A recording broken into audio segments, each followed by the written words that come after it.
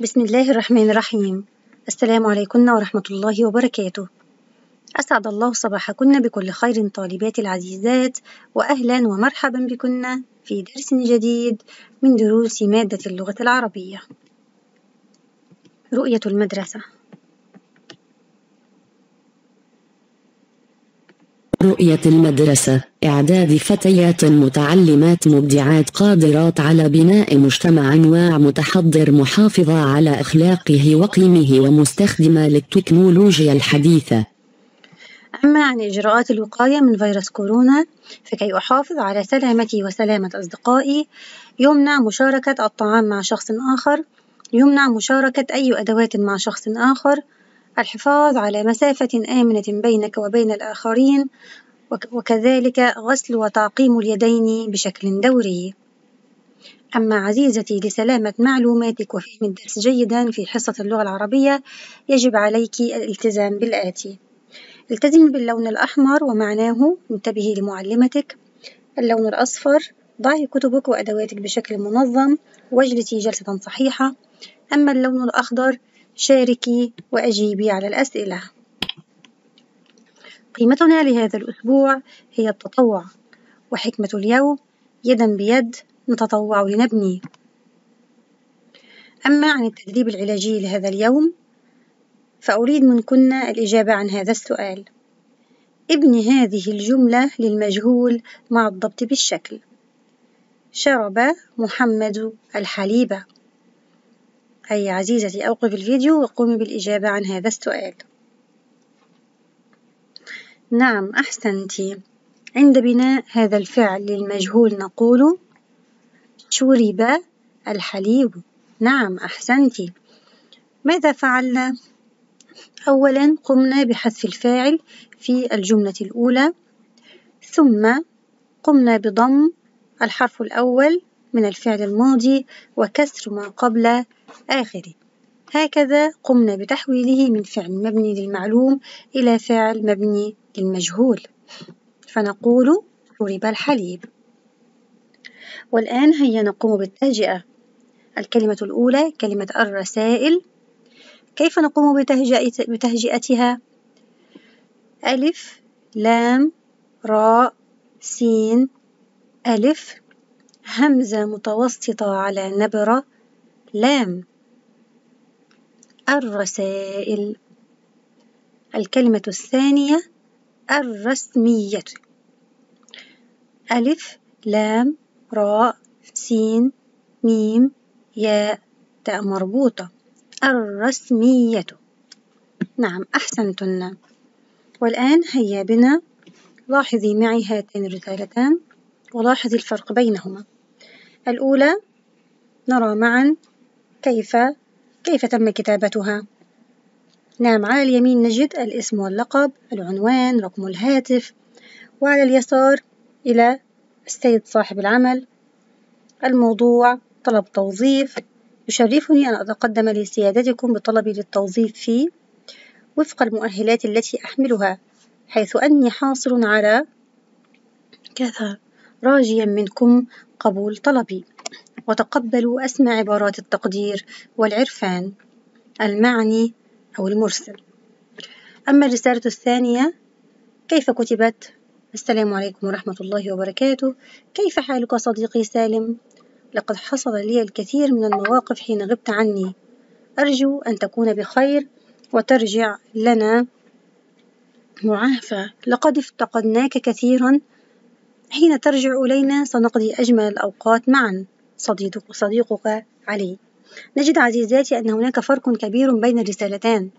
هناك رسالة كتبت بشكل رسمي ورسالة أخرى كتبت بشكل شخصي إلى صديق ما. هناك فرق كبير في كتابة الرسالة. إذا موضوع درسنا اليوم سيكون عن مهارة التعبير الكتابي وكيفية كتابة آه، الرسائل الرسمية. أهدافنا لهذا اليوم يتوقع من الطالبة في نهاية هذا الدرس أن تحدد السمات العامة لنص الرسائل الرسمية بشكل صحيح أن تولد الطالبة الأفكار التي ستتناولها في رسالتها أن تكتب مقدمة رسالة مناسبة لموضوعها مستخدمة علامات الترقيم وأدوات الربط أن تتوسع بكتابة أفكار العرض بطريقة صحيحة مع مراعاة استخدام علامات الترقيم وتوظيفها توظيفا صحيحا وأن تكتب خاتمة الرسالة كتابة صحيحة. هيا بنا نسترجع ما درسناه من قبل في موضوع درسنا الرسالة الرسمية. الرسائل هي عبارة عن قالب لغوي قديم حديث استخدم عبر العصور ومن ذلك رسائل النبي صلى الله عليه وسلم إلى الأمم والممالك. وكذلك الولاة والقادة. إنها الرسائل والمكاتبات الديوانية قديما أو الرسمية في أيامنا هذه. هيا نقوم بتحقيق الهدف الأول وهو أن تحدد الطالبة السمات العامة لنص الرسائل الرسمية بشكل صحيح.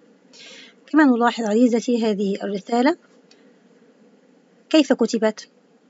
نعم بالطبع بدأت بالعنوان العنوان الإلكتروني لأننا الآن نقوم يقوم معظمنا بإرسال الرسائل عن طريق الإيميل طريقة إلكترونية. إذا لابد أولا من كتابة الإيميل وهو العنوان المرسل إليه الرسالة.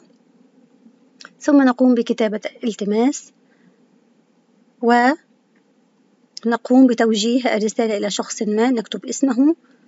ثم التحية ثم المقدمة ثم العرض ثم الخاتمة. وفي النهاية نقوم بكتابة اسم المرسل. هكذا نشاهد معا موضوع الرسالة. هيا أخبريني ما موضوع الرسالة معنا في هذه الرسالة الظاهرة أمامكن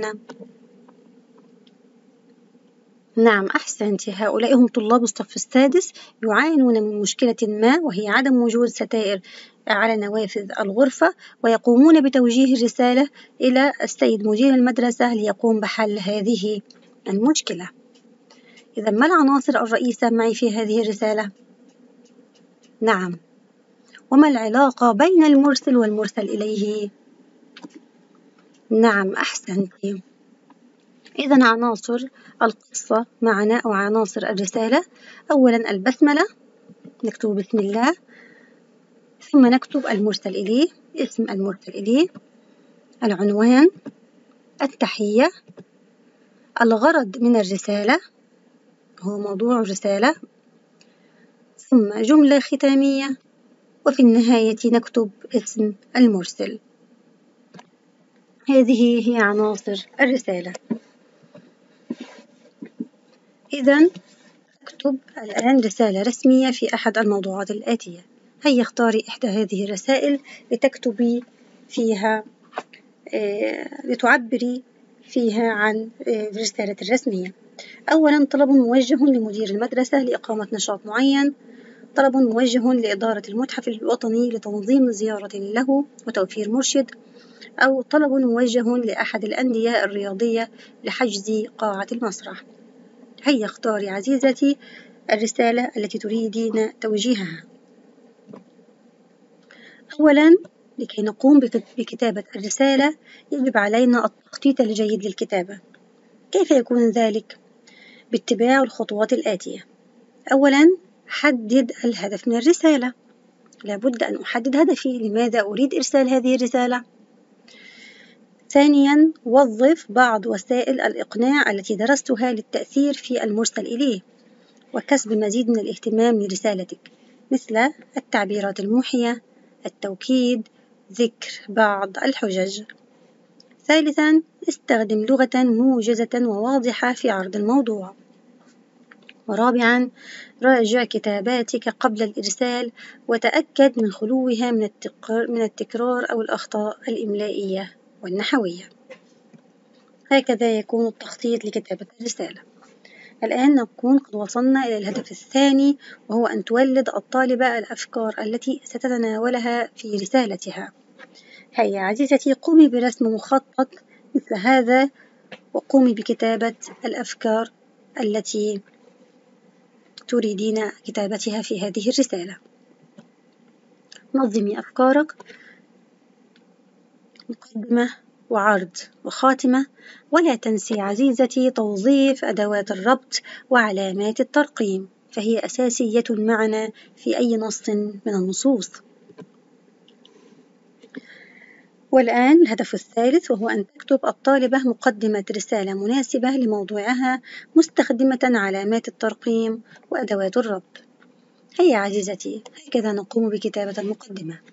أولا بسم الله الرحمن الرحيم التماس ونكتب العنوان وهو الدوحة قطر على سبيل المثال.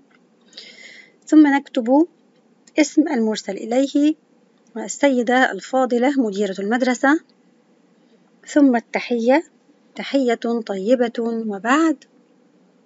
ثم نقوم بكتابة المقدمة أو جملة افتتاحية لرسالتنا.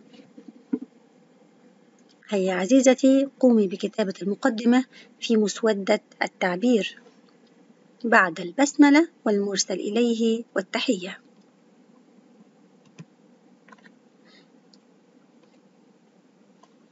أحسنت إذا من الطالبة المتميزة التي ستقرأ لنا المقدمة التي كتبتها في المسودة؟ هل قمت بكتابة البسملة؟ هل كتبت عنوان الرسالة؟ هل كتبت بريد المرسل إليه؟ هل كتبت اسمه اسم المرسل إليه؟ هل كتبت التحية؟ إذا قمت بكتابة هذه الأشياء تكونين بالفعل قد قمت بكتابة مقدمة مناسبة لرسالتك.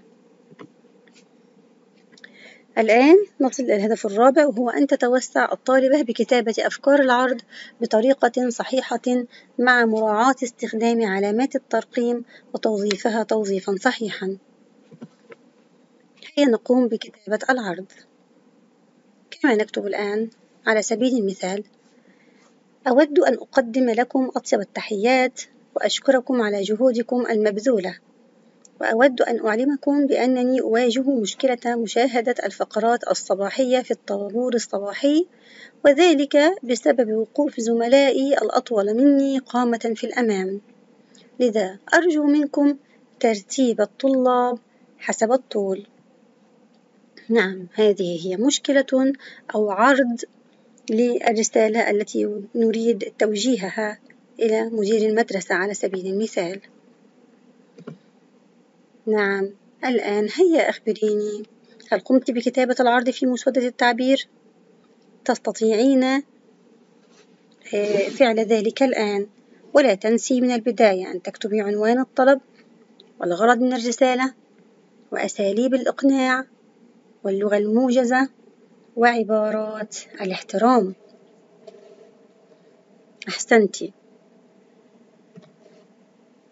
والآن من الطالبة المتميزة التي ستقرأ علينا العرض الذي قامت بكتابته هل كتبت عنوان رسالتك؟ هل كتبت الغرض من الرسالة؟ هل قمت باستخدام وسائل الإقناع؟ أحسنت إذا الآن تكونين قد قمت بكتابة العرض المناسب ونكون قد وصلنا إلى الهدف الخامس وهو أن تكتب الطالبة خاتمة الرسالة كتابة صحيحة. كتابة الخاتمة كيف تكون؟ على سبيل المثال نقول شاكرين لكم حسن تعاونكم مع خالص الشكر والتقدير ثم نكتب بعدها الطالب كذا نكتب اسم المرسل نعم هكذا نكون قد قمنا بكتابة خاتمة مناسبة. وكما تلاحظين لقد قمنا باستخدام علامات الترقيم وأدوات الربط. والآن هيا قومي بكتابة جملة ختامية ثم اسم المرسل. نعم أحسنتِ. بارك الله فيك. والآن من الطالبة المتميزة التي ستقرأ علينا الخاتمة التي كتبتها في المسودة نعم هل قمت بكتابة جملة ختامية؟ هل قمت بكتابة اسم المرسل؟ أحسنت بارك الله فيك. بهذه الطريقة تكونين عزيزتي قد قمت بكتابة رسالة تامة العناصر. ونكون أيضا قد وصلنا إلى نهاية درسنا لهذا اليوم. أترككن في رعاية الله وأمنه. والسلام عليكم ورحمة الله وبركاته.